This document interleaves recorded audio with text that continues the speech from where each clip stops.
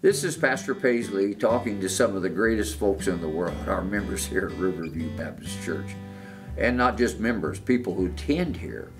We love you dearly and thank God for you and your faithful service, your faithful stewardship to the Lord through the local church. I want to update you on what's going on in our ministries here during the time of Governor Inslee saying, stay at home, stay healthy. We will not be having services as a group. We've been having parking lot services, which has worked out and perfectly legal.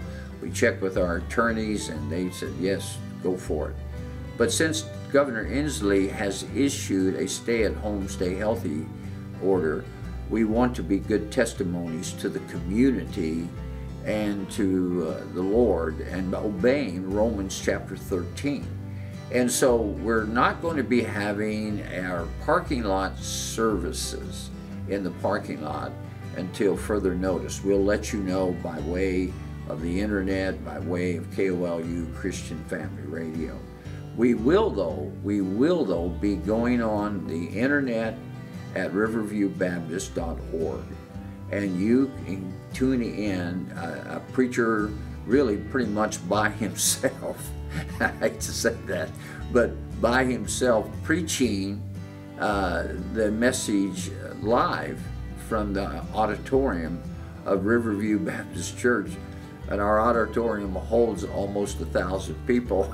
there ain't gonna be nobody in the auditorium, folks. And so we're going to be doing that, and uh, it'll be regular. It'll be over the internet. It'll be streamed over the internet Plus, it'll be live over KOLU, Christian Family Radio. So uh, we want you to be sure and stay on top side spiritually.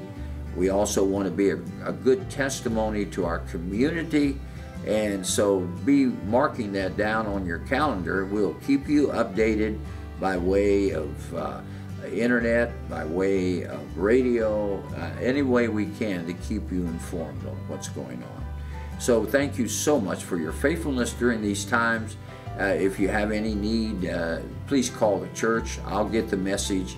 Uh, they're forwarding all the calls to me, and I'll be able to talk with you about that. We love you, and we're praying for you at this time.